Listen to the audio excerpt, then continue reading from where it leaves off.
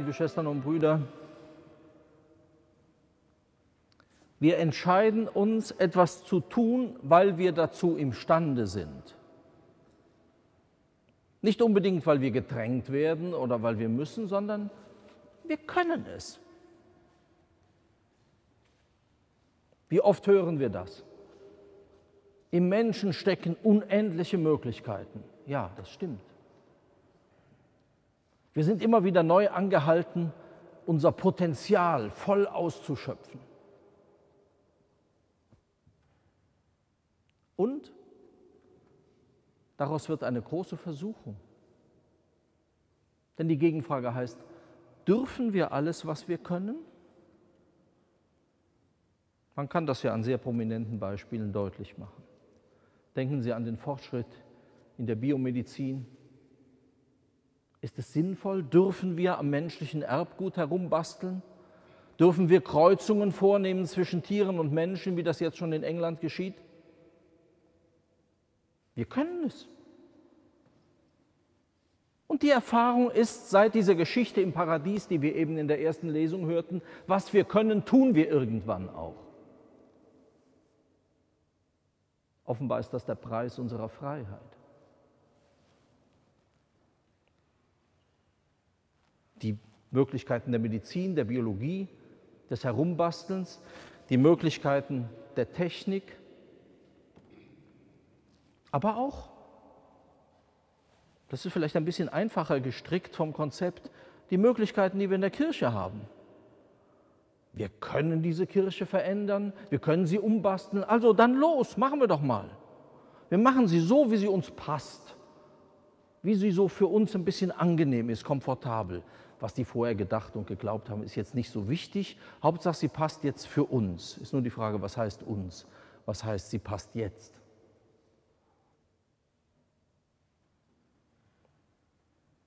Ist es einfach damit getan, unser Potenzial voll auszuschöpfen?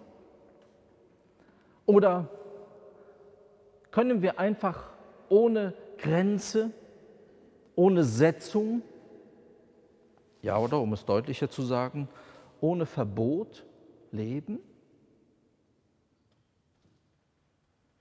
Ist es realistisch, wie uns oft, wir leben in einer solchen Zeit und Gesellschaft, die uns eintrichtert, eigentlich, es ist das Land und es ist die Zeit der unbegrenzten Möglichkeiten.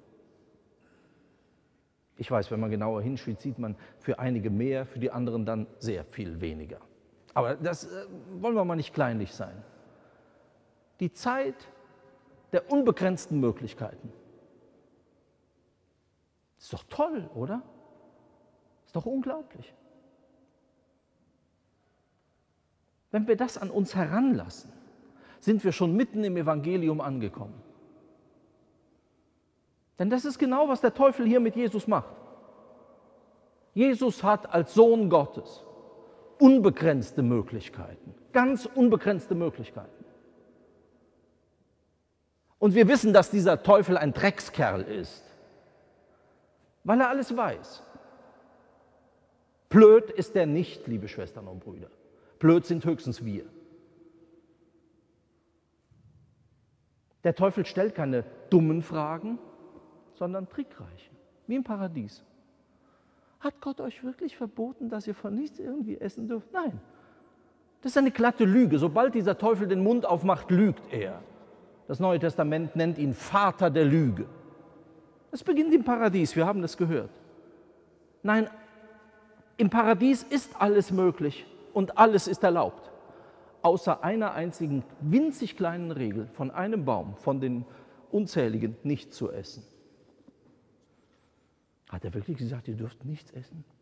Und schon ist es dieser eine Baum, der riesig groß wird und der mich in meiner Freiheit begrenzt und der mich mein Potenzial nicht voll ausschöpfen lässt und der mich behindert in meinen Lebensmöglichkeiten. Und es ist eine Unverschämtheit, dass Gott überhaupt eine solche Regel setzt. Wie kommt er überhaupt dazu? Schließlich bin ich doch Adam und Eva. No, wir sind Geschöpfe Gottes. Genauso gut wie der hören wir heute in vielen Variationen diese Geschichte. Und genauso hier in dieser Versuchungsgeschichte des Evangeliums. wenn du wirklich der Sohn Gottes bist. Natürlich weiß der Teufel, dass er es mit dem Sohn Gottes zu tun hat. Der weiß es sehr gut. Manchmal besser als die einen oder anderen in der Kirche. Der Teufel weiß es, mit wem er zu tun hat. Aber die Art, so hintenrum eine Frage zu stellen und dann einen gleichzeitig bei der Identität, beim Selbstbewusstsein, beim Stolz am Schlawittchen zu packen. Zu sagen, naja, dem werde ich gleich mal zeigen, wer hier Sohn Gottes ist, oder? Es ist das Starke, liebe Schwestern und Brüder, wenn wir dieses Evangelium jedes Mal am Beginn der 40-Tage-Zeit hören, dass wir unbedingt von Jesus zu lernen haben. Er, der unbegrenzte Möglichkeiten hat, er nutzt sie nicht. Er hat Hunger. Er lebt unter den Bedingungen wie wir. Auch wenn wir denn wirklich einmal fasteten, hätten wir auch Hunger ein für uns inzwischen seit Jahrzehnten relativ unbekanntes Gefühl. Aber das Potenzial, das ich habe, nicht auszunutzen. Jeder von uns hat Potenzial. Jeder von uns kann selbst, wenn er diese strengen Regeln, die ich da letzte Woche ausgeteilt habe, befolgt, den Tisch vollpacken mit Sachen, die immer noch erlaubt sind und wird satt. Ja, wir haben diese Möglichkeiten. Müssen wir die nutzen? Können wir es nicht auch begrenzen? freiwillig, um einen wirklichen Schritt in eine Freiheit zu tun. Um nicht denken, wir müssen uns selber etwas beweisen. Ich kann, kann doch machen, was ich will. Wer, will mir denn das sagen? Da sind wir schon dem Teufel auf den Leim gegangen, wenn wir auch nur eine kleine Spur so denken. Oder dieses mit auf die Tempelzinne nehmen. Naja, aber du, wenn du Gottes Sohn bist, steht doch in dem Psalm, Psalm 91, der an diesem Sonntag eigentlich den, den liturgischen Texten das ganze Gepräge gibt. Da steht doch, dir passiert nichts, da kommen doch die Engel und tragen dich, spring doch runter. Kleine so eine kleine Demo, wäre doch toll. Wäre doch so ein Vorschlag in unserem Bistum für die Jugend und für die Citykirchen, so eine kleine Demo vom Sohn Gottes, der springt runter und nichts passiert. Kommen Engel und die tragen den ganz toll. Ist so super. Machen wir einen kleinen Videoclip von, stellen auf Facebook ein. Das wird sicher oft angeklickt. Und da kommen auch wieder mehr Leute in die Kirche, weil das, das kapiert jeder. Macht er aber nicht. Also muss der Teufel dann doch aufs Ganze gehen. Und er ruft nicht das Potenzial Jesu ab, als Sohn Gottes mit seinen unbegrenzten Möglichkeiten, sondern er muss die Karten auf den Tisch legen. Er muss sein Potenzial zeigen. Was ist das? Was ist dieses Potenzial, das der Teufel selber auf den Tisch legt?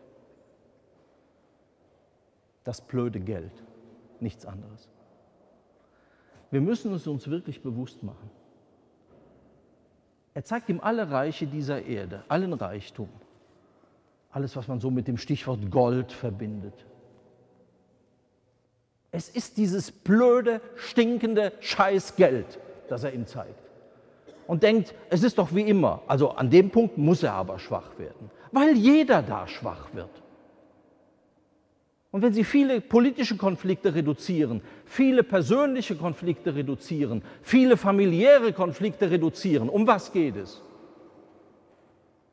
Um eine, nein, ich sage es nicht, um eine blöde Erbschaft?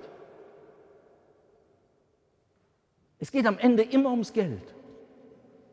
Und der Teufel weiß es. Und immer wo es um dieses Geld geht, ist er im Spiel. Und wir sollten uns sehr ernsthaft fragen, ob wir als sterbende Kirche in diesem Land, die gleichzeitig stinkreich ist, wessen Geschäft wir eigentlich betreiben. Wessen Geschäft wir eigentlich betreiben. Das müssen wir fragen.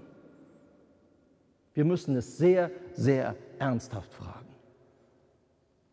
Denn letztendlich wird immer über das Geld entschieden. Ich hatte am Freitag noch in Trier so ein Gespräch. Da ging es auch nur ums Geld. Alles andere ist wurscht. Wir hatten unser Budget überschritten letztes Jahr hier. Mir ist klar, wer die Finger da im Spiel hat. Da will ich gar niemand persönlich beschuldigen. Das sind alles brave Leute, die ihren Job machen und ihre Aufgabe erfüllen und das sagen, was sie sagen müssen. Aber als Ganzes, liebe Schwestern und Brüder, müssen wir uns fragen, wessen Spiel wir spielen, wessen verlängerter Arm wir sind mit unseren Entscheidungen, mit unseren unbegrenzten Möglichkeiten, die wir abrufen und wofür wir diese angeblichen Möglichkeiten einsetzen. Und was wir zu lernen haben, jeder und jeder von uns und alle zusammen, die ganze Kirche, ist dieser eine Satz. Und deshalb gibt es diese Zeit vor Ostern. Vor dem Herrn, deinem Gott allein, sollst du dich niederwerfen. Vor sonst niemandem. Vor Gott allein. Es ist gut, wenn wir das wirklich auch körperlich üben. Wir machen das Werk das jetzt am Ende der Tagzeiten. Das ist ein bisschen komisch, wenn da von außen zugelt, was machen Sie denn jetzt schon wieder? Du sollst dich vor dem Herrn, deinem Gott, allein niederwerfen. Sie können das zu Hause tun, wenn niemand hinschaut. Wie Jesus uns das im Evangelium in der Bergpredigt am Mittwoch zu Beginn dieser Zeit gesagt hat. Geh in deiner Kammer und schließ die Tür zu. Das ist auch gut. Aber es muss uns deutlich werden, dass es keinen anderen Weg gibt, wir können die Heilige Schrift zitieren, wir können Spruchkalender herausgeben mit Bibelversen. Kann der Teufel auch. Wissen wir ja. Bei der zweiten Versuchung kennt er die Heilige Schrift schon und er kannte sie vorher. Damit ist es nicht getan, fromme Sprüche zu machen. Man muss die frommen Sprüche auch leben, man muss sie ernst nehmen. Wenn die Väter der Wüste sagten, für alles, was du tust, suche ein Wort der Heiligen Schrift, dann heißt es nicht, um deine Untaten zu verbergen oder dies oder jenes ein frommes Mäntelchen drum zu hängen, sondern etwas in Einklang zu bringen, genau wie Jesus das hier dreimal vorlebt.